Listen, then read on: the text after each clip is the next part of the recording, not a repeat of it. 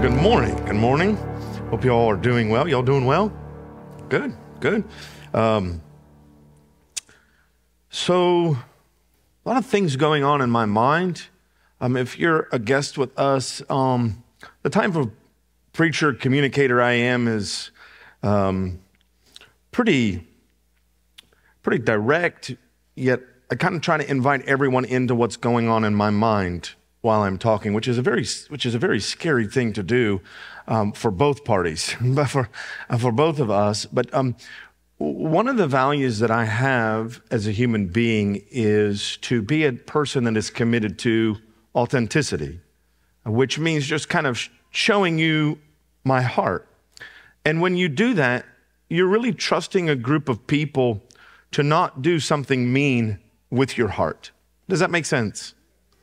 And so, on, um, let me just invite you in on church stuff for a minute. Um, Christmas, Easter, Mother's Day, those are the three biggies. So today's one of those one of those big deals where people will come and they'll bring guests and so on and so forth. And if a person who does what I do is not careful, their number one objective will be to impress rather than serve.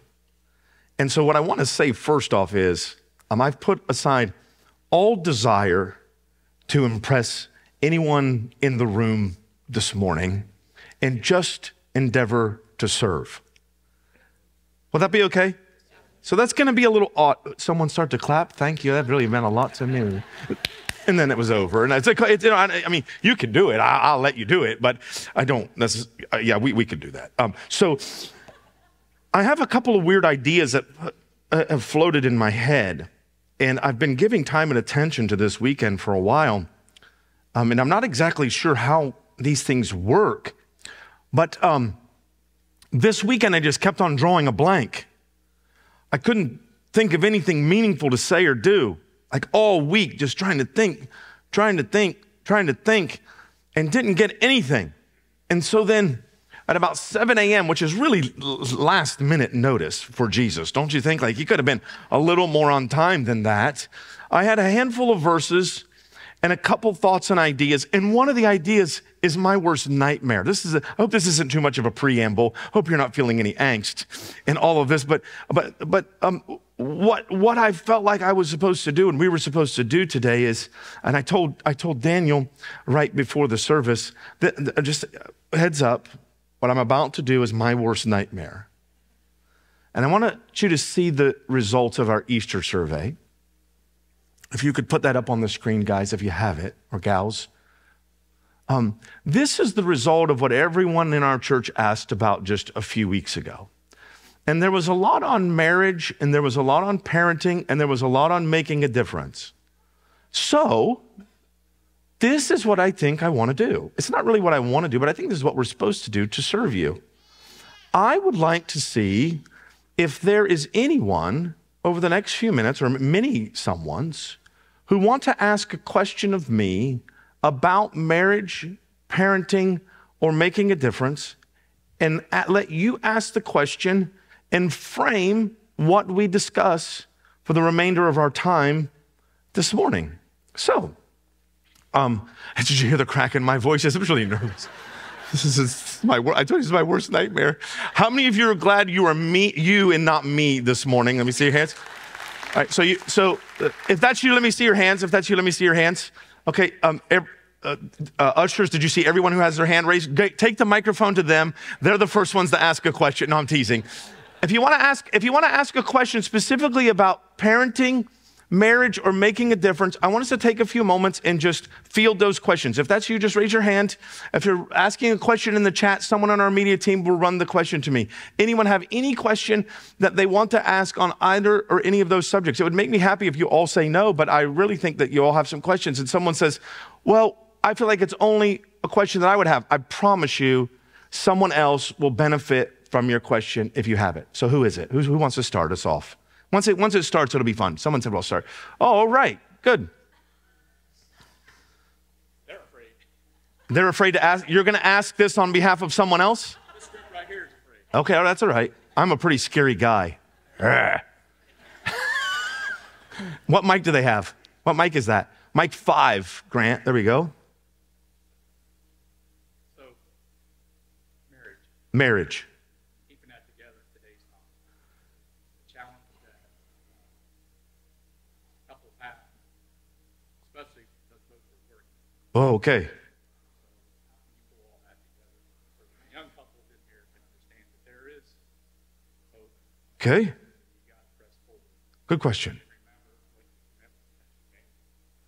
of that relationship.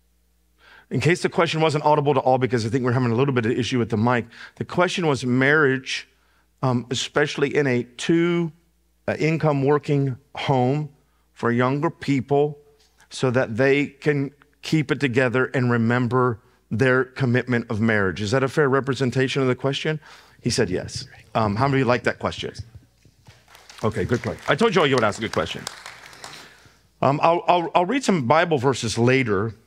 Um, baby, do you want to join me? It is it's Mother's Day, but you don't have to. So like, I don't want to put pressure on you. This is all really impromptu, guys. Like, if you want to join us, join me. You can, but it is your day. Ladies and gentlemen, Angie Pennington. They'll get you one. They'll get you one. You look lovely. You're welcome. You smell good too. Hey, hey. We, we have four children, so she so we qualify for as parents. We have four children. We had four by 24. We had four um, in 35 and a half months. So our yeah, so- some of the moms' eyes because you all just intuitively did the math. Someone came up to me one year and they said, "You must really love kids." And I said, "No, I just really love my wife." Come on, somebody. That's when my kids. Yeah, you're on. He, she's on. She's my three. That's when the kids do the eye roll. yeah. But it's how they got here, so like it's like a double-edged sword. You know what I'm saying? did you want to answer? Did you want to start that? I guess for me, I just remember asking Josh, like, I just want to be on your team. And I feel like teamwork is huge, um, especially when you're both working, you know, 30, 40, 50 hours a week. Um, so I guess I would say teamwork and communication are what I would say is two huge pieces. Um, yeah. It's a good. You want me to go now? Yeah. It's my turn. I want to go a little bit deeper and go below the surface a little bit. And I, I want to. An- I'm gonna, I don't know if I'll do this with every question, but I'm going to do this with this question. I'm going to. I'm going to try to answer with um, the the the wife, the mom in mind. Here's why. Um, because I I have this belief through conversations, through communication with my wife and I, that. Um, it became clear to me through conversations that I was oblivious to how many changes and sacrifices my wife made over the many years of raising children and being a spouse and us being a spouse together. And, and um, what that means to me is this that if you, if you think about it, all of the changes and sacrifices that a woman makes that a man never has to start off by you go from a pre mom physical body to a while you're growing the child mom physical body to a post mom post birth physical body then to the process of not being able to be a mom anymore in the physical body. And oh, by the way, not just the body, but the mind issues of my child needs 24 7 care, that I am their complete and total supply. A mom is in many ways. Uh, they don't get the break. Then from that to taking kids to, and I know I'm generalizing, but I'm championing the moms and the ladies who this has been your story and no one's verbalized this. Then you're going from all of the ball games and traveling them to and from the practices. And then you go from that to they need less and less management, the kids I'm speaking about, to then they need no, they need no management at all. And something that I'm concerned about that churches don't talk about is the changing in identity that mothers go through and that women go through in their journey of life. And that it takes a, a man to maybe speak to a man in the room to say, Your wife has changed and sacrificed way more than you have. Um, that is not to diminish the role of a man in the relationship, but it's, it's, it's not the same. All the while, while I'm getting up, getting ready, getting in the car, going to my office, doing my thing, my wife and the mom is doing this great big changing arc of thing. And then, and then, and then I wonder what's so difficult. I'm answering, say it again. Somebody say something to me. Oh, sorry. So, so I'm saying that to say on this Mother's Day, I think one of the things that I would like every young husband to know is that your wife and, and that mom is doing a lot more than she's ever telling you she's doing. And that the change is really, really challenging. And so make sure that you're paying attention to that. Um, the earlier, the better. I would also say, from a husband's perspective, that some men need to write this down. I didn't see any man move. Some men, it wasn't a, some men need to write down what I'm about to say. That mom, that wife, she never clocks out. Never say, I just need to clock out. And never mentally clock out. When you come home, don't just throw yourself on the couch and turn on the TV.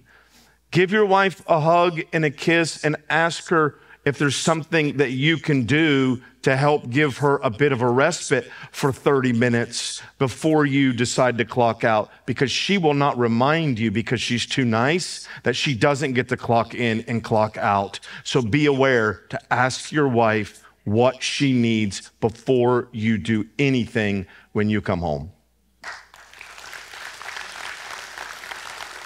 It's a good question. I, I, think we could go longer and further, but I think there were other hands who had questions. So the other thing I would just add is sometimes I feel like as, as women, we assume that our significant other can read our mind. say it again, maybe say it again. So I guess I just would encourage you just like speak up and just say, hey, this was a challenging morning you know, everybody was giving me attitude. You know, we had four teenagers at once, so everybody was giving me attitude. And so I'm not trying to tell a sad story, but it was a rough morning. So please be understanding with me, or you know, whatever the situation is. If you're not feeling good, um, or you didn't sleep good the night before, um, I think sometimes we just assume that our spouse knows these things.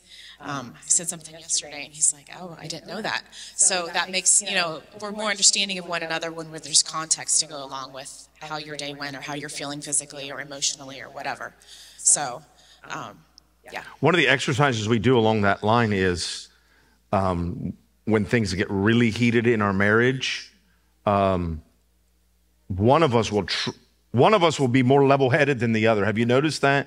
That in any relationship and it gets really intense and intensifies, someone seems to be able to keep their head above the logical water threshold. And whichever one of that is, we'll help each other with this little exercise. And we'll either ask the question or we'll say. So, for example, it's really intense, and for whatever reason, I'm the one that was hurt by it. I and I can keep my wits about me and don't just go off, which happens. Um, I'll say this, baby, this is the story I'm telling myself in my head.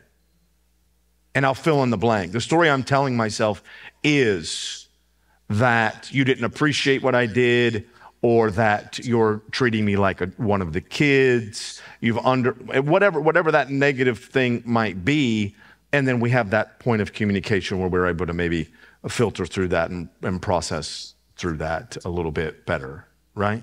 Yeah. yeah. Who else had a question? Yes. Oh, oh, number. There's a question that came in from okay. our Facebook feed, Pastor oh, Josh. Sweet. Um, this is Mary on Facebook. She says, What would be the best way to get involved if you've only been an online attendee, but have been attending online for a while, six plus months? Will you read it for me again, please? Sure. What would be the best way to get involved if you've only been an online attendee, but you've been attending online for six plus months? It's a good question, Mary. I think one of the things is if there's a, if, so remember, I've told you over and over that people who are on the other end of that lens, they're real. This is an example of that. What, first thing I would say, Mary, is thank you for watching online and thank you for engaging and, and thank you for being a part of our online community for sure. And um, second, I would say if there's a reason, uh, maybe distance, uh, maybe uh, physical limitation, or some limitation why you can't be here, uh, what I would like for you to consider in, I think this is kind of a making a difference type question. It was the one of the three categories.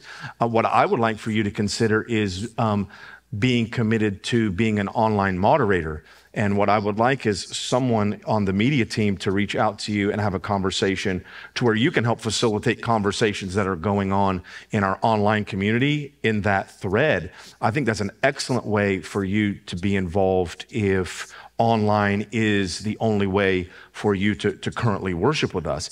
If being here in person is an option, I would encourage that because then the the options are are wide open. Um, the second thing is is that we have people who are on a prayer team, which is is doesn't have to happen in a specific place or certain time, and so you could certainly be a part of our prayer team as well. I would say those are two good ways. A third one um, would be to be generous in resources uh, because the media outlet in which you're receiving from, the church does invest resources to get this message out. So I would say online moderator, prayer person, or person of generosity. If you're unable to be here, those would be my those would be my three quick answers to that to that really good question. So thanks, Mary, for the question. Anyone in the room? Parenting, marriage, making a difference. Yep, one more, another one. Okay, very good. Um, obviously, we only have a one year old, but when you guys raised kids, can you give advice on not only how to raise them in Christ, but for them to encourage them to find their own path with Christ? Sure. Good question. Want to go first? no, you sure? Um,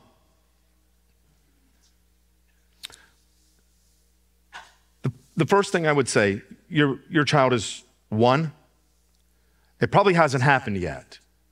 Um, but when they become old enough, and a parent is, I think, the foremost authority on when they're old enough to understand yes and no, when they are choosing to do something that they're not supposed to do, that's when we've always believed in the value of consistency and not giving in to their energy because I, I think you've already realized this as a mom of a one year old. They have way more energy than you, and they will wear you down.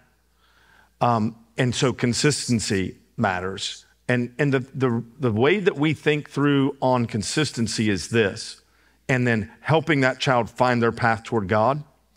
Um, never do your best to limit the amount of times in which your disagreements with your child are your will against theirs.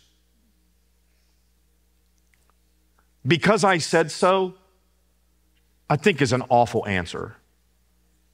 I think it's a terrible answer. I think we can do better than that. And I, and I think what we can do is we can help that child know that this is not about mom and dad's way versus their way. It's about that we believe that God in heaven has a will and a plan for each of our lives. And my job as a parent is to help my child find that plan. So it isn't my way against your way, it's both of us trying to work together to find God's way. Now, that obviously becomes easier as they age, but the consistency in the early years will allow you to lean into that. Meaning, don't make threats bigger than you can fulfill.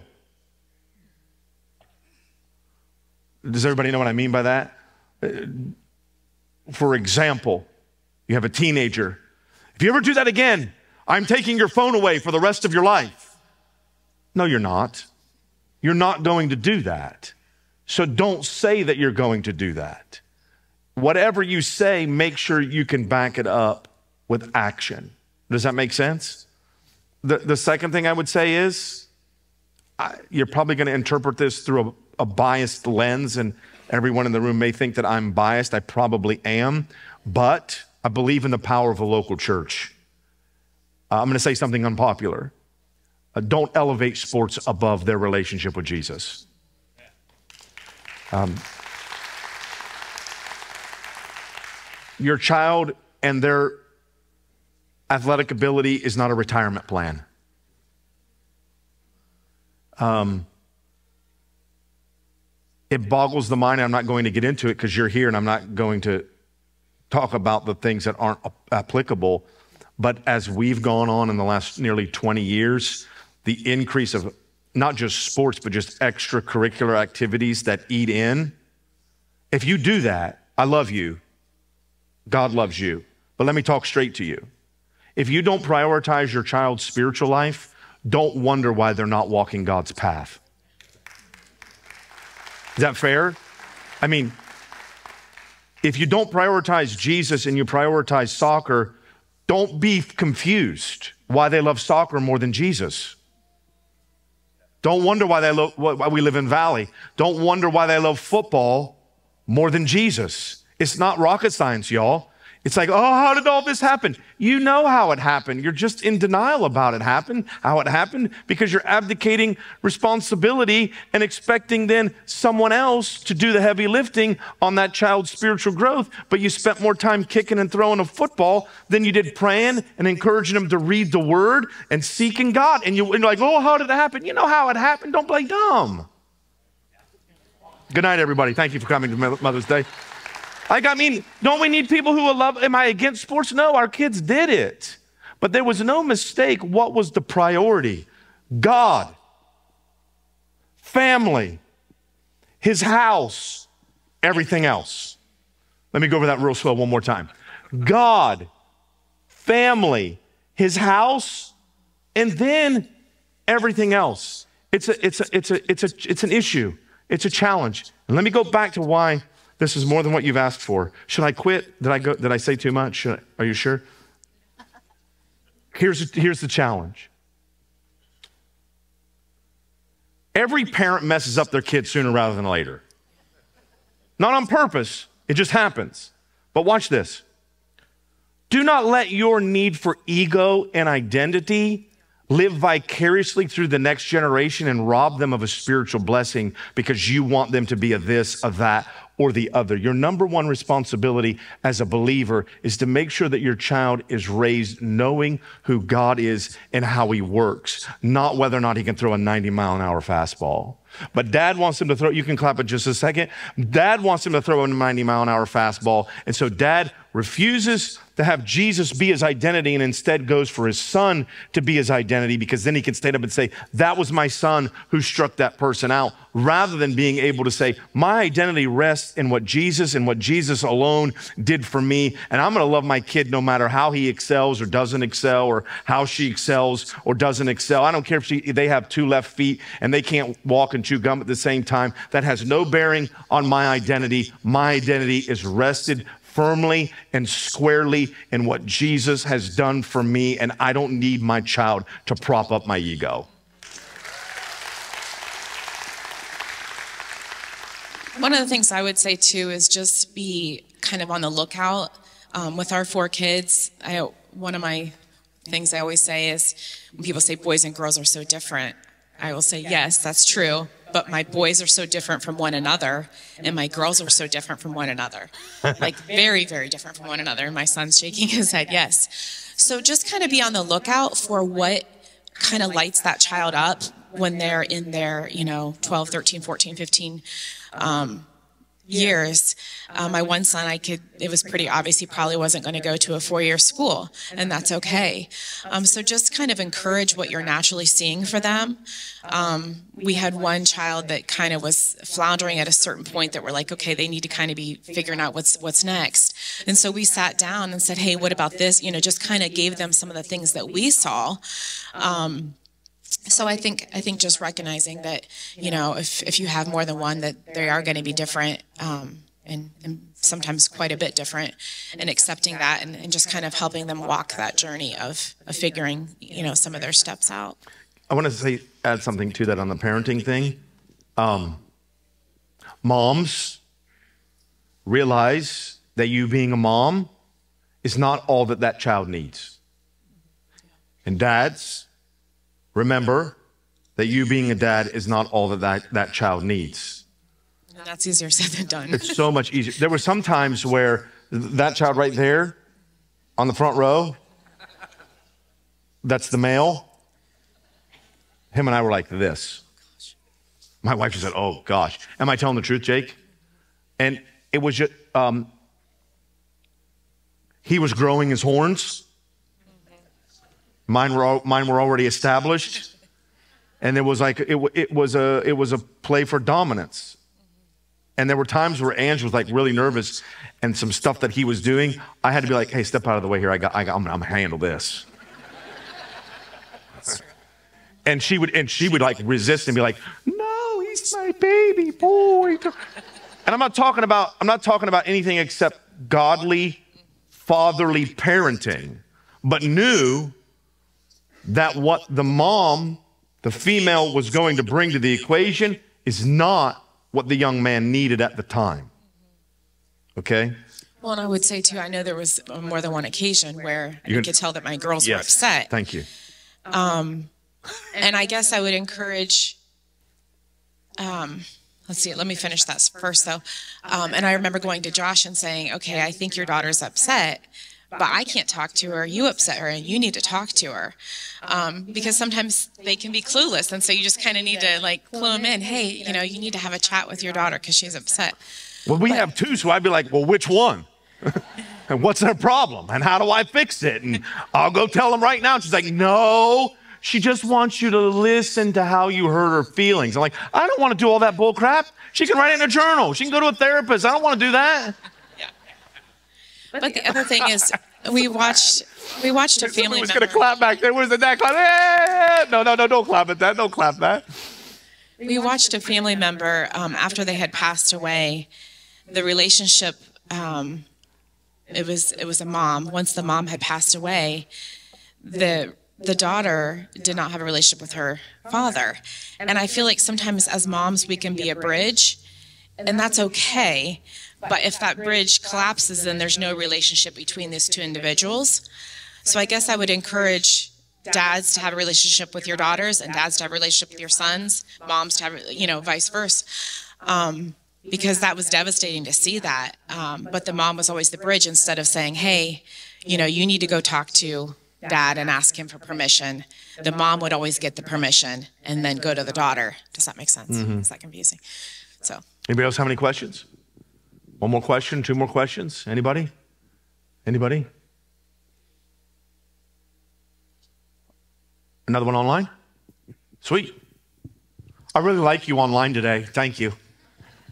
Uh, Pastor Josh, this is from Morgan on Facebook. Okay. What do you do when you have two children and one is very active in the church and desires it, and the other one wants nothing to do with it and says, We make her go against her will?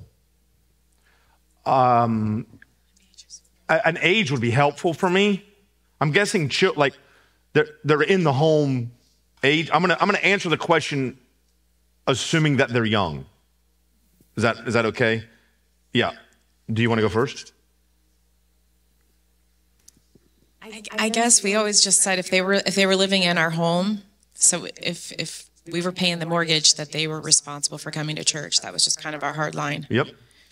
We didn't, oh, we do not negotiate with terrorists.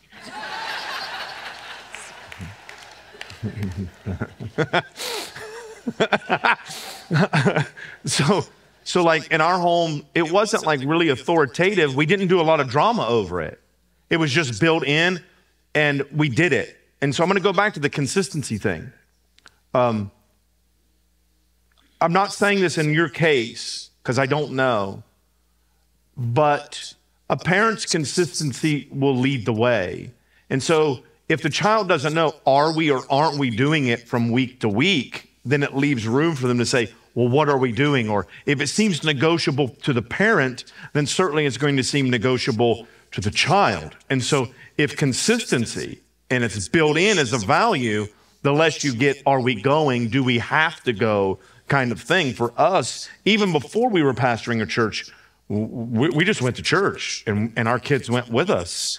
And I don't really ever remember very many times where do I have to go today was an issue.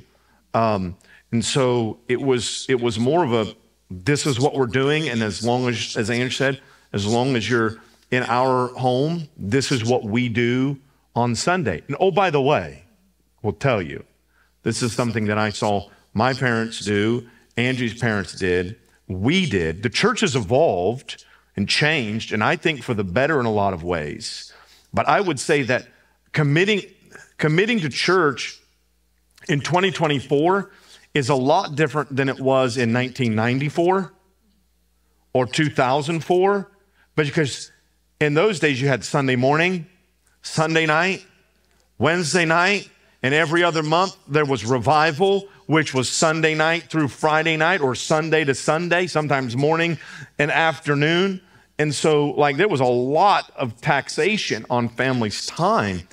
Maybe that's bit us in the rear end because we've, well, I don't want to go down that path, but I would say that the bar is pretty manageable. And to say, I said, I guess to be consistent, bring the child if they're a child.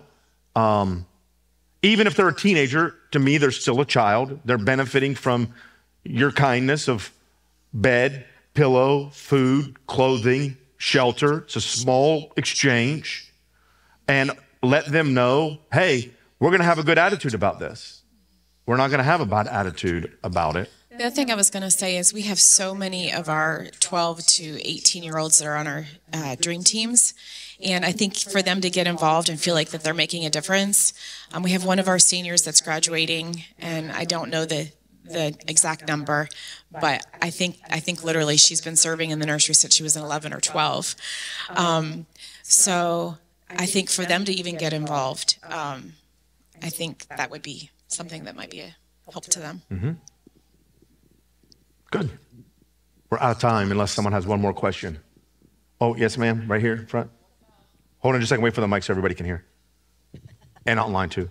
As far as bringing the children to church, mm-hmm. what happens if the daddy does not come to church, the mom comes to church, and the son, the kids say, "No, I don't want to go to church," and the dad says, "Okay, don't go to church."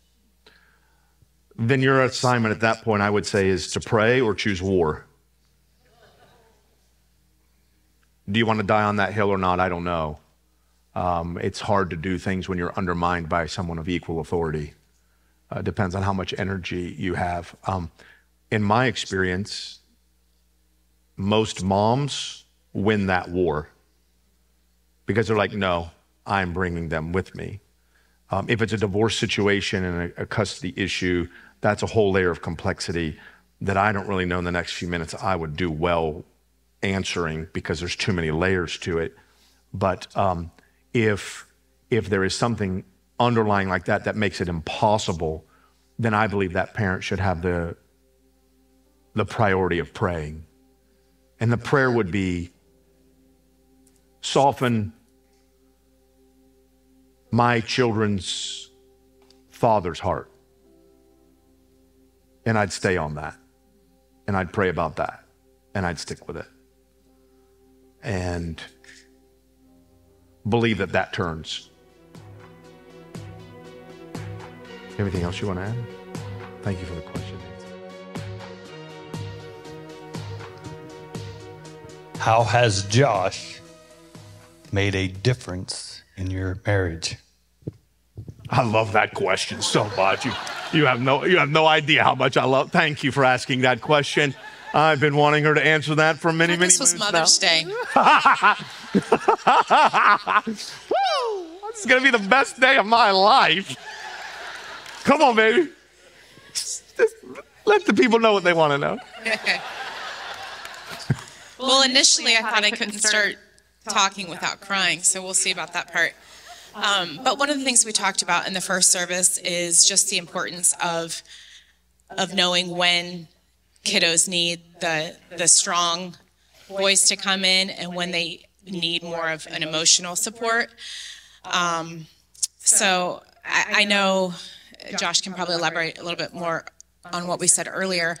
Um, but Let- let sometimes me as a mom, This is maybe bring you back to the question, which was I just said. how much of a difference and how have I made a difference in your life? I'll, I'll, I'll flip the So, question. in a so minute. the other day he asked me, he said, where, where do you think you would be if it wasn't for me? And I was like, whoa, that's pretty bold.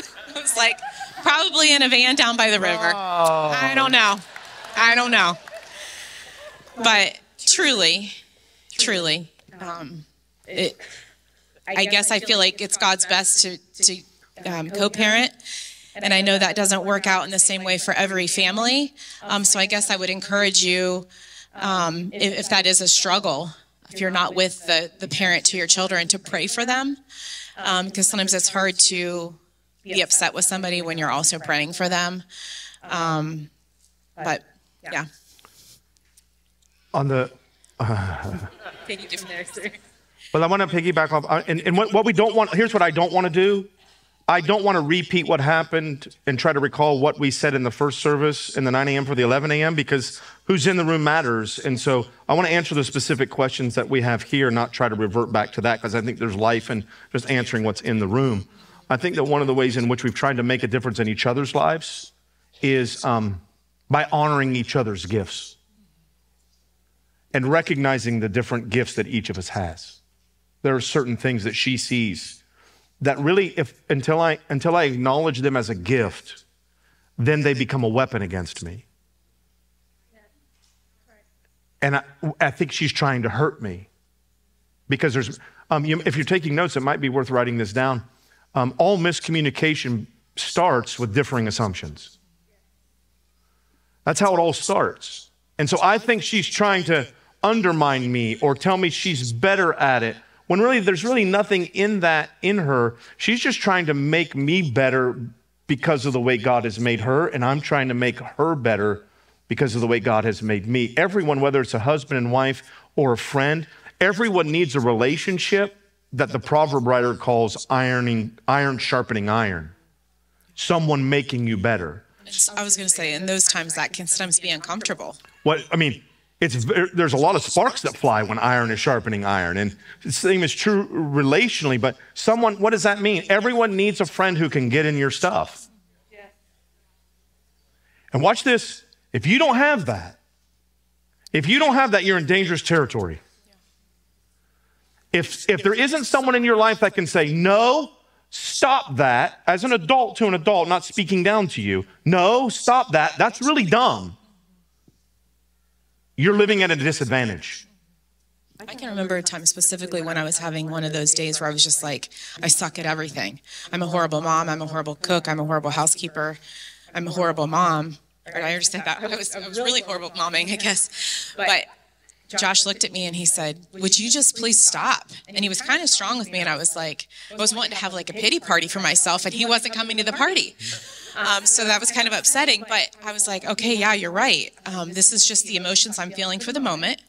But these aren't true things. Um, and I think I think that the enemy sometimes will want to get in and say that you are horrible at all those things. You're horrible a as a mom and a wife and a coworker, sister, all those things. Um, and those are, you know, obviously there's al- always places that we can work and get better. But sometimes I think the enemy just wants to get in there and just tell us all this crap that's not true. The thing that really, so when she was saying it that day, um, one thing I have had to learn to give language to is I'm not coming at you. I'm coming at the thing that's coming at you. Because she was she was believing and reciting things about her that were not true in that moment.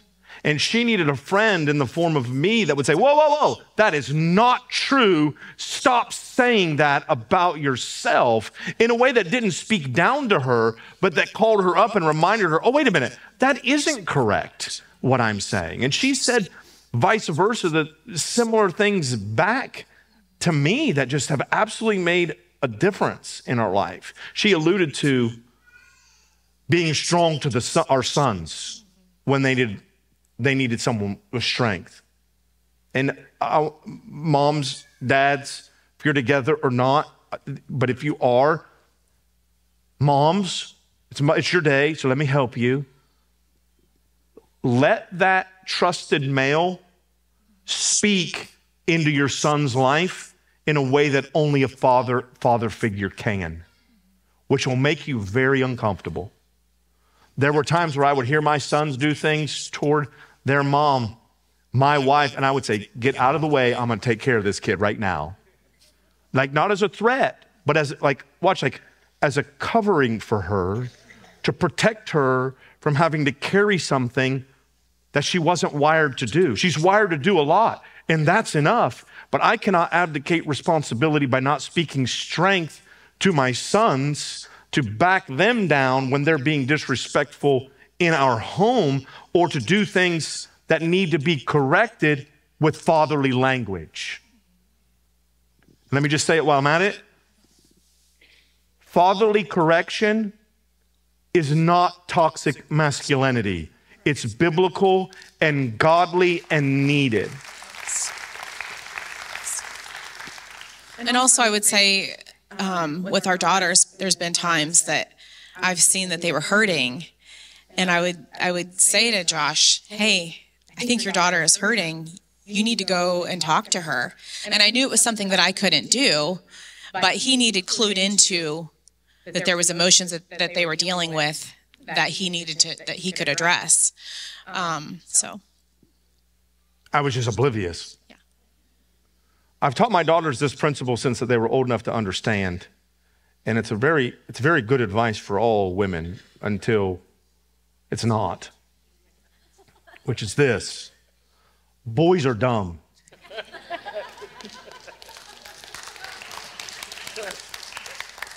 How do you know when they stop being boys? Is the next question.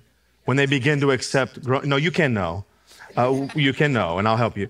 Uh, when they begin to take grown up responsibility and, and accountability for their actions. And until then, they are dumb. So if you're single and looking, they got to prove their intelligence. You need to, you need to see their tax return. I'm dead serious. Uh, uh, When, when a boy comes to ask for my daughter's hand in marriage, they're going to bring a tax return. Not for the reason you might think. I don't care how much they make. Did they do their due diligence and responsibility by filing and doing something that you're supposed to do as a grown up adult? The other thing I'm going to do is I'm going to clean my gun while I'm talking to him. That thing, that is, that is. Because I live in Licking Valley and uh, I'm a red blooded, God fearing, gun toting American, and I'm. And I'm okay with a little fear when you're about to ask for my daughter's hand in marriage. It's probably why they're both single. They're probably, I'm, I'm probably the problem, but I'm okay with that. Um, any, uh, good on that one. Anybody else have, who else has a question? There's some here. Oh, y'all are, y'all are popping. The first service was like pulling teeth. Good. Um, they were still asleep, I'm saying that's probably true. This is regarding making a difference.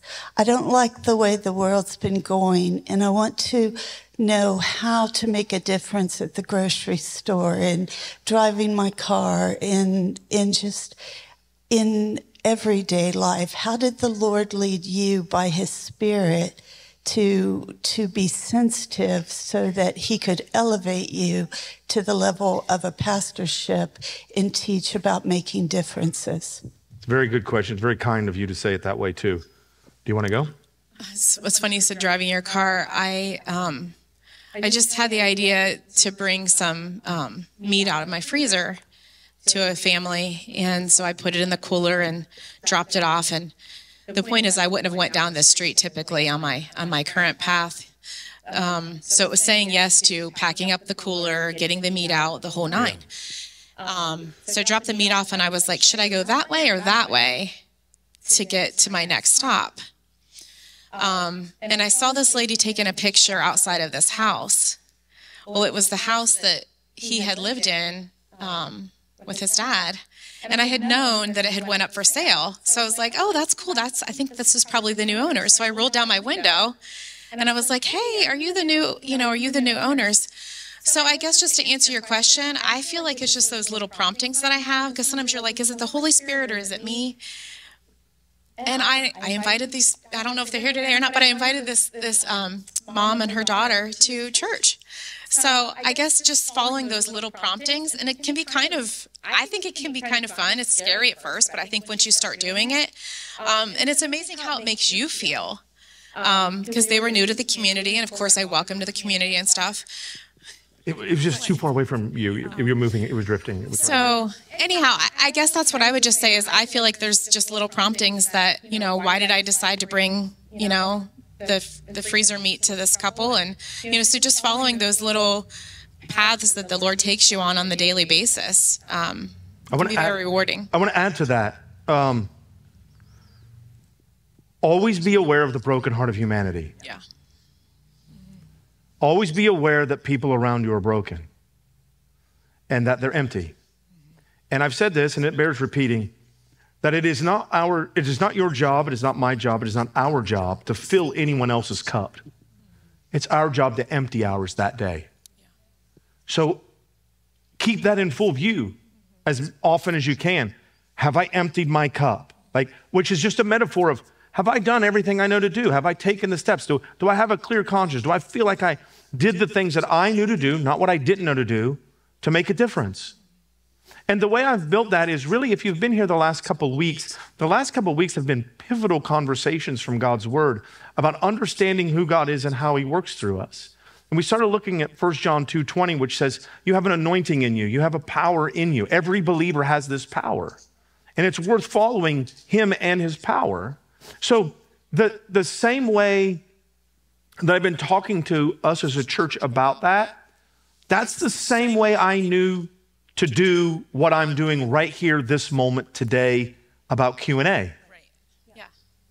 It's if you were here in the second service last weekend, it was the same way I knew to act on the two individuals that I asked to come help Daniel sing. There was something on the inside that said, this seems like it would be a good idea to God, so let's do that.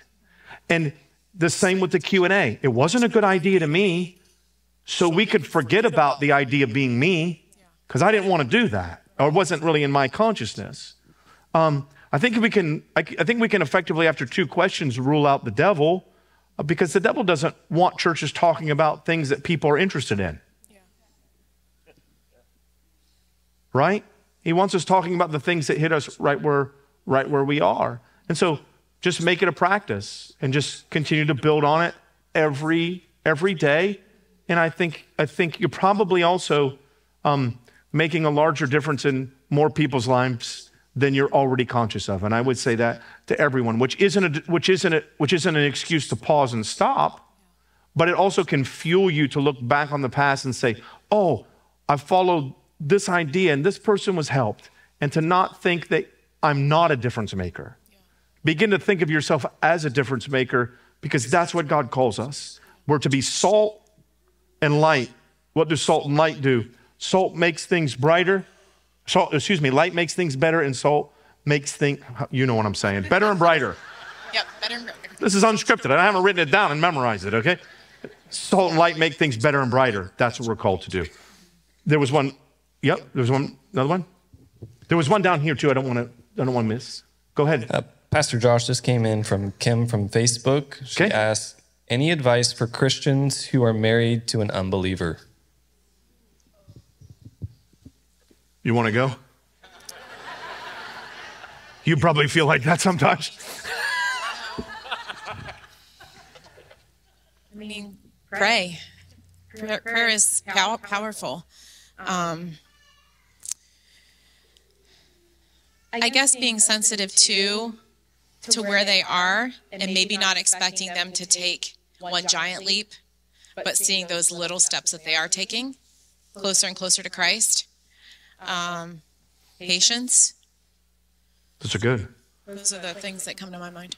Um, I would say to you, Kim, and anyone else who is dealing with that, don't take on the role of the Savior.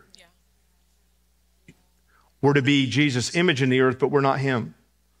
And it can be so tempting to, to put so much pressure on us that in, in, in doing that and taking our assignment so seriously and having that deep love for them, that we actually become weird and unhelpful by putting too much pressure, by dropping hints, by maybe doing something that would appear to be nagging or just relentless. Uh, part of what faith means is that we trust God, we do our part, but at the end of the day, Kim, our Bible says this that no one can come to God unless the Holy Spirit draws them. So if we have any effectiveness in this life, it's because we let God do his work. So I would probably pre- pray more and talk less to them in any kind of way that is in your mind trying to move them in a direction. Just let God do it, and He will do it. And everything, building that on what Ange said as well. That would be my, that would be my suggestion to you. There was one right here. We are um, we're a blended family. Um, we got married. All of our children were raised. My question is about parenting. How do you draw those children? Your they're your heart. They're your soul. They were raised in church. Between the two of us, we have seven. And how do you draw them back to God without, you know, smacking them in the face with your Bible? Mm-hmm. I mean, I have uh, I have one who at 25 had a heart attack. She has a pacemaker. You know, she was raised in church. She was hurt by a church. So how do I how do I show her that all churches are not like that? You know, how how do we draw all seven of those little monsters back to where they belong? Can you tell me an age range, please? Is that too intrusive? oh no, the kids range from 34 down to how old is Grace? 27. So all adult children. All adult children. Okay, I got it. Yeah. Got it. Thank you. Go ahead. To me, to me, I would probably answer how we did before if it's a spouse. You know, um, praying for them and being patient and showing them God's love and. Um, yeah. I, I, would I would add this would this would apply to this question and to, the, to a lot of questions, right? Um, a lot of the types of questions that have to do with making a difference and influencing. The first person that you have to lead is you. So are you clear? This is rhetorical. Uh, are you clear that you're living out all of the values that you want them to see? And then once you are, you just keep and, t- and stay that course and know that I'm doing what I know to do. I've sown every seed. Remember, the Bible says this some planted, Paul, Paul planted, Apollos watered, but God makes it grow. I used to lament over the growth of our church. Like, what, what can I do? What can I do? What can I do? What can I do? And Jesus gently reminded me that it is his job because he said, I will build my church and the gates of hell won't prevail against it. We get into trouble whenever we try to do God's part. And if we do our part, which I know you well, each of you well enough to know that you're, you're probably doing much, much better than you realize, and that your life is speaking much louder than they're responding. But I would just say keep on living the way you know is right to live. Keep praying for them. And I would specifically remind yourself of the verse when God says, You train up a child in the way they should go, they won't depart from it.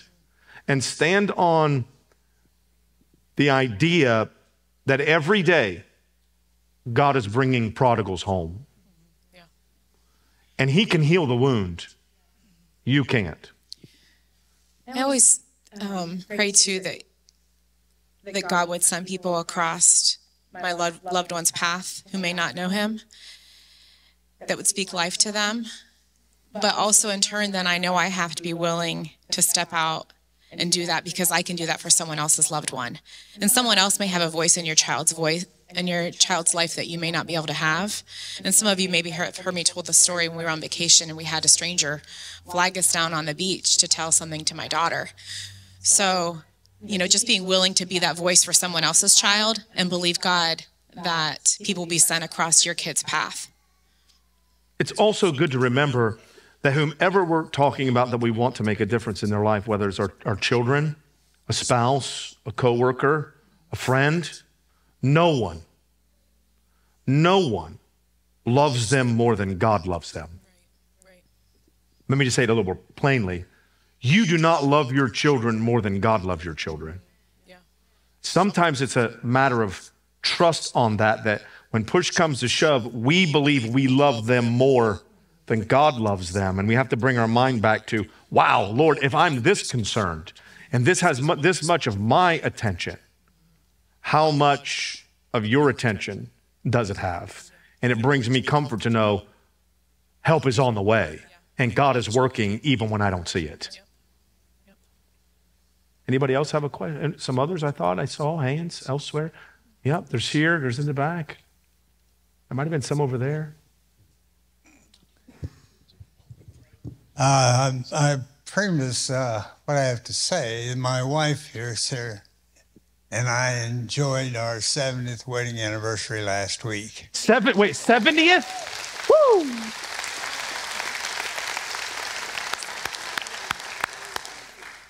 But I want to uh, maybe tell some of the guys in this room that uh, it isn't that hard.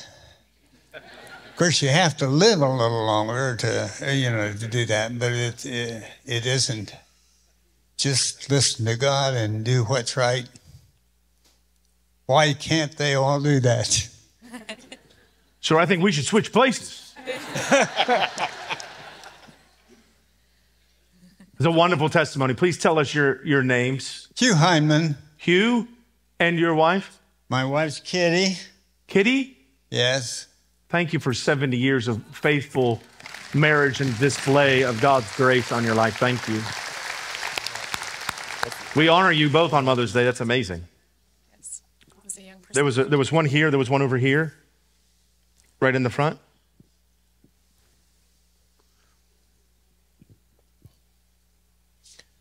So I have a question for uh, uh, pretty much just advice for anyone who's starting out their faith later in life with children, and uh, their children have grown a bit more, and you're introducing something they've never known, God, into their life. I see a lot of people that we've baptized are various ages, and uh, a lot of them do have children. Some of them you'll see the children yelling, "Yay, Daddy!" in the background, uh, but uh, it's kind of hard to know where you're going with that. Good question. Uh, you feel Good like question. you have nowhere to stand on. Yeah. Good. My, my, my, uh, I'll elaborate so this isn't sarcasm, okay? I'll, you should start at the beginning. And some practical ways of what that means to me is no matter where they are in their age, you start as if it's the beginning for them because it is.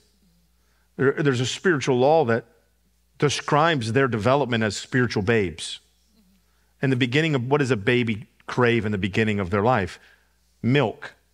As they age, they get an appetite for different things. Um, I'm trying to see who would have an infant. She has her twins today. Who has her twins? Oh, I'll come back to that. Um, Nathan, how old is the baby next to you? Four months. Tell everyone the baby's name. Nora. Nora's four months. Be unwise for me to deliver to Nora a medium rare 45 day dry aged bone in ribeye from Ruth's Chris. Some of you are Googling, what does that eat? It'd be unwise for me to give her steak, right? Why? Why would it be unwise for me to give Nora steak? Why do you think that would be a bad idea, Caleb? She's not ready, she can't chew it. You start with what they can process. And for me, I think a beautiful new beginning for any believer is reading the Gospel of John. It's called the Gospel of Belief. It shows you a different angle of who Jesus is. And if you would begin to read that, depending on the age of these children, you'll find that as you age, You never age out of knowing more about who God is. So it's amazing that this book has the power and capacity to raise up and teach a four month old in Christ and a 40 year old in Christ, all with the same words, based on the power of the Holy Spirit who's pulling out of those words the thing that that stage of life needs. In fact, it's a miracle every Sunday when anyone stands on this platform and shares something, and that people from all ages, both chronologically, physical age, and spiritual age, can glean something from it.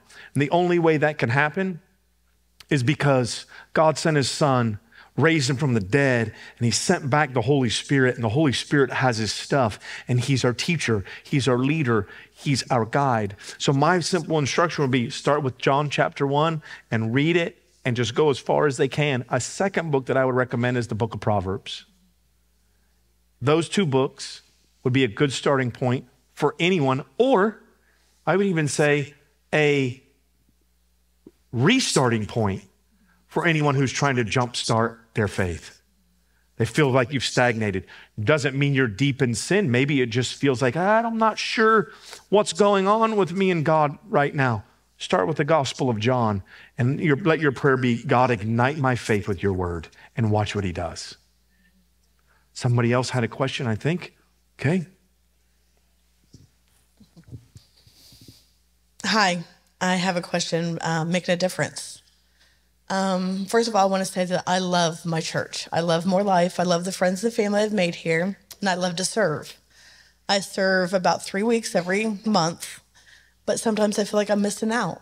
I feel like I should have been here instead of back there. Mm. Or like a couple weeks ago, you did an altar call, an altar, sorry, altar call, Mm-hmm. and I was with the toddlers. I was loving it back there with the toddlers. You know, praising with them and worshiping with them and playing with them but I felt like a big part of me missed out because I wasn't here. Mm. So, how can I continue to fill myself while I'm still serving others? You have the answer for that one. I'm part of an answer. Yeah. You preach it all week, every week. Remind me. One, one. One and one. It's I a think- simple, it's, I think it's a the beauty, straightforward. I think the beauty of what we offer here currently is you can attend one and you can serve one. Um, where we have we have friends that have massive um, sanctuaries, and because they have a massive sanct- sanctuary, they just offer one service. So that would be a practical thing if your time allows that you could um, attend one service and and serve one service. Um, but I mean, I, I think it's definitely something that we even try to keep an eye on with our volunteers if they're I saw Tucker was sitting up here and he's in the booth a lot. So, you know, we try to keep an eye on our teams that they're not, um, that they have something of overflow to give to others. So, Uh, no, I want to. I want to piggyback on that. Um, can I challenge your thinking just a little bit? It's a bold, daring move to ask a question in public, and so I, I want to ask you to change your thinking, because other people are dealing with the thought that you have. I think it's. I think it's rooted a little bit in a misconception. When you serve anyone, especially kids, you're never missing out. We missed out because you weren't in here. You didn't miss out. Um, and that is that. i the other thing I would say is, God knew that you were going to be serving. He makes provision for that in all of His planning, right? And that the people who serve, the proverb writer says this: He who refreshes or she who refreshes will be refreshed herself. You have a Bible promise that every time you give out, God has something waiting on you to give back to you. And so I don't feel like you should be at all under the impression that you missed out. I think that what I want you to take away is you did make a difference. The kids were blessed, and God always comes through on his promise for you as well. So thank you, and thank you to everyone who serves so, so well. It makes it makes a massive difference. Thank you. Thank you. One more. We? Was there one? Was there at least one more, or are you all ready to go home and get your ham and whatever you're all going to eat? Was there? One, I thought I saw one more. There's a, there's a, there's a lady clear here in the back. Uh, Matt, right clear in the back. Um, so this is kind of more of parenting and making a difference. Okay. We preach to our children that being a good person, even when it's not cool, is going to get you further in life. But what if they have um, a relationship with somebody that you know their morals and values aren't the same, but you also don't want them to tell them that they can't be their friend? How do you make sure that they stay on the right path and you know that they're doing the right thing? Good question. Will you tell me your name, please? I can't see you back there. I might know you, I might not. Erica Minton. Hi, Erica.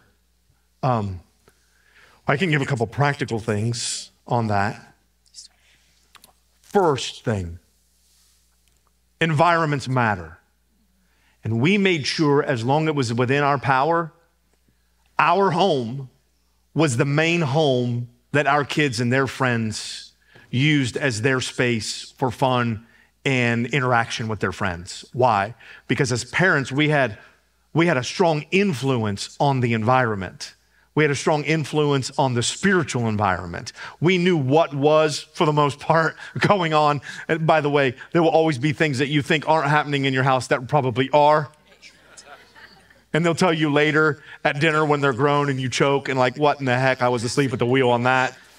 Um, but that would be one thing. Uh-huh. That's upsetting. That is upsetting. Our kids are old enough that we've had that happen. We've had them. Hey, we were doing we were doing this when that happened. I'm like, you son of a seahorse. Are you kidding me right now? Like that happened on my watch. I was spiritual and attuned with what God was doing, which is an interesting side note because you're probably never as attuned to God's spirit as you would like to be because you're biased in that. Um, let me just say this. I'm not going to dodge the question. Um, if if the expectation is that you are a perfect parent, your child doesn't need Jesus. And it doesn't mean it doesn't mean you have to be and try to be imperfect. We just are. But our imperfections leave doors for Jesus to get in the mix. Our blind spots allow Jesus to do the thing that we can't do. We never, now, there might be other people, but today I guess it's us. We never tried to control or steer friendships. Here's what we would do if there were people that we did not trust and didn't think had our kids' best interest at heart, we would have personal conversations with our kids. We would even have conversations with our kids as friends, with our kids, saying, You did da da da da da. That's not okay. You do that again, we're going to have a problem. Now, that might be a style that you're not comfortable with, but we felt the responsibility, and this is something that's important that I don't think has been said yet, that we feel the responsibility, and I hope you do too. We feel the responsibility to parent children we did not give birth to because they haven't had it. And we looked at it as an opportunity to be able to speak into those individuals' lives by living a life that was straight and narrow. Um, I think one thing that we can do is we can get caught up in our own spiritual journey and forget that there are young people who are coming along and watching us. And our belief has always been light is greater than darkness. God is greater than the circumstance and the evil influence. There have been times where this lady right here has prayed relationships out of our friends' world. And I would encourage you to say that from time to time. Lord, I don't believe this, is, this relationship is in my child's best interest. Why don't you take them out of the equation? Get them out of the circle, which isn't, which isn't an excuse to not do the parental thing. For every parent whose heart has been broken, for every mom whose heart has been broken with a child who's, who said, I hate you, I need you to know that on the other side of that, I hate you, was really a thank you. Because you were parenting them in a way that they needed, and all they knew to express was anger because they hadn't developed to the point where they learned it was best to not always get their way. Um, there's a lot of layers to what you're asking me. And in the time provided, I think I could go on and on, but I think because of time, I think there's enough there to chew on. Would you agree, Erica? Is that, is that okay? I have a lot more I want to say, and I know Ange does too, but for the sake of time. Well, the other thing I was going to say is when we talk about parenting um, kids that you didn't give birth to, like I don't want to exclude the 60 year olds. There's there's people who are in their 40s that really need the wisdom that you can offer. There's people that are in their 80s that can give support to people in their 60s. So that doesn't end once we get older. There's always people who haven't walked that path that you're walking that really, really can benefit. I think about Don Martin and I could cry, but having him that I know I can call him. Um, so just just keep on knowing that there's there's people that need you and don't say I don't have anything to offer. You know, if you're 50 or 60 or 70 or 80, there's there's people in the previous generation that need your wisdom and need your support and need your love and, and prayer. Mm. So It's good.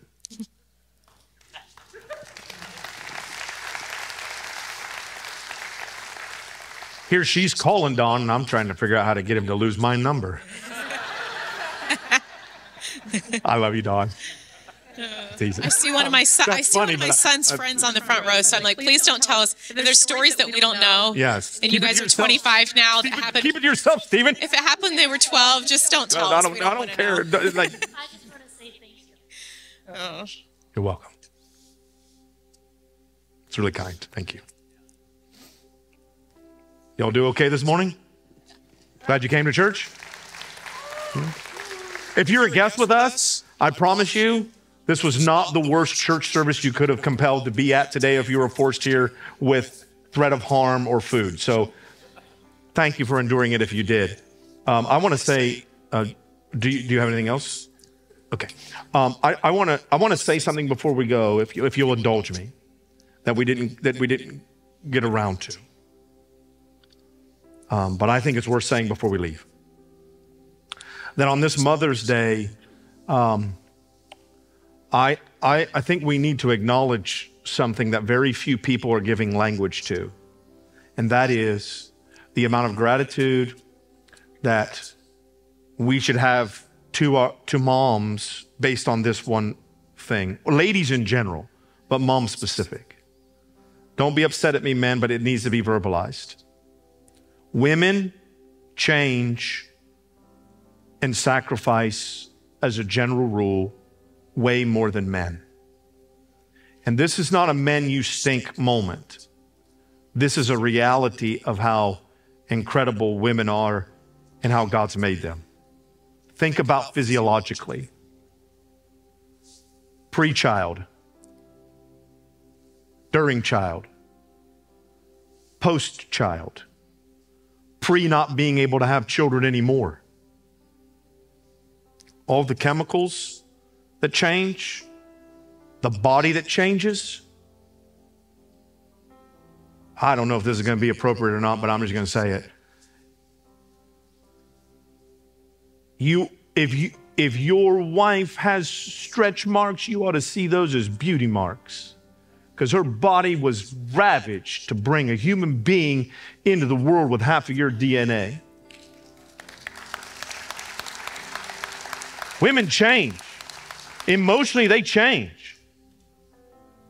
While I was getting up, getting ready, going to work, and just doing the same thing every day for 20 years, my wife was giving intense management to infants, was their total su- support and supply. Then they went to toddlers, and then there's like chasing and herding cats, just like free range humans. To now they want to play sports, and someone's got to get them to and from practice. Then they're going to go to a game. Then they're going to get married. Then they're then they're going to get married, and then they're going to maybe start having kids. And all the while, the man's just eating dinner, getting in the car, clocking in, clocking out, looking, doing their desk thing, and this incredible human being is silently navigating changes that she never verbalizes. And I need some people in this room to know how much change your mom, that dear female in your life, that spouse has gone through and didn't mark it on a didn't mark it on a billboard, didn't rent a plane and have it fly in the sky, just silently day after day, week after week, walked her walk and did what she was assigned to do. And through the tears and the pain, she did it because there's a love that's so indescribable that she didn't she didn't stay angry about it.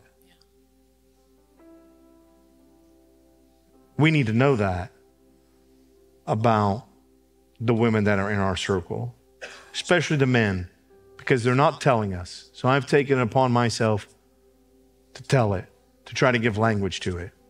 Women don't need men to give them a seat at the table. I'm not saying it for that reason. Because the women I know, they don't need me to give them a seat at the table. They'll build their own freaking table. They don't need my help. But I am old fashioned enough to believe it's still okay for a man to pull out a chair for a woman and open a door and close it for them and honor them and love them for who they are. So thank you. I love you. You're freaking crushing it.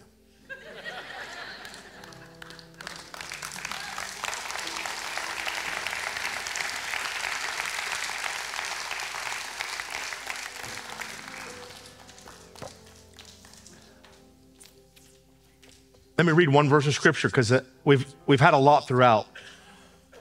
Let me just quote one. The very last verse in the Old Testament before 400 years of silence. Here's what Malachi 4 6 says. And don't be distracted by the word father on Mother's Day, but let me just give you the heart of it. This is the last thing God says before Jesus shows up. He says this, and He, God, will turn the hearts of the fathers to the children and the hearts of the children to their fathers, lest I come and strike the earth with a curse.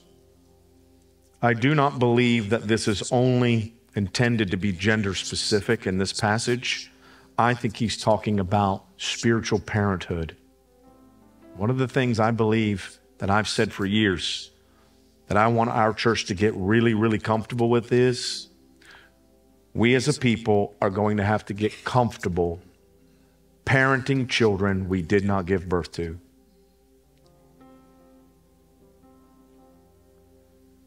The crisis, the challenge that I see every day in what I do is the residue of people who've not had parental voices in their life.